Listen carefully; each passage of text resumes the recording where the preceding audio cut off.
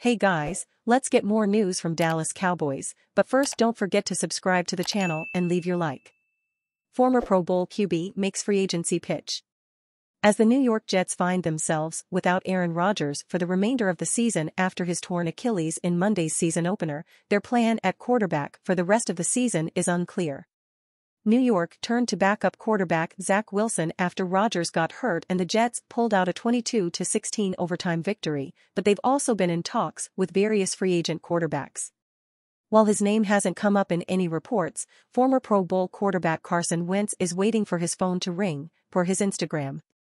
Wentz took a break from his hunting show with his brother to post throwing darts in the woods while waiting to throw dates on Sundays on his Instagram story the second overall pick in the 2016 NFL Draft, Wentz's career has been marred by injuries and inconsistent play.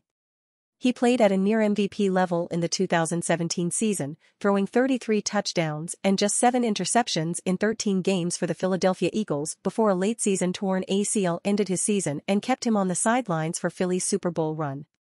Wentz was never quite the same player after the injury, and in the spring of 2021, he was dealt to the Colts. He threw for 3,500 yards and 27 touchdowns, but after just one season, Indianapolis dealt him to the Washington Commanders.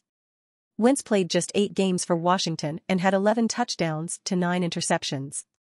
He was released following the 2022 season and didn't draw much interest in the offseason.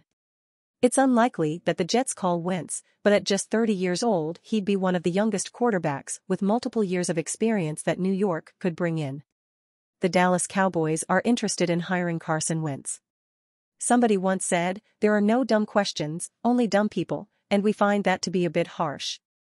At the same time, what is our response to the idea that the Dallas Cowboys should, in the wake of the Aaron Rodgers injury that puts him out for the season, trade Cooper Rush to the New York Jets? And you fan, what do you think of the Carson Wentz situation? Leave your opinion in the comments.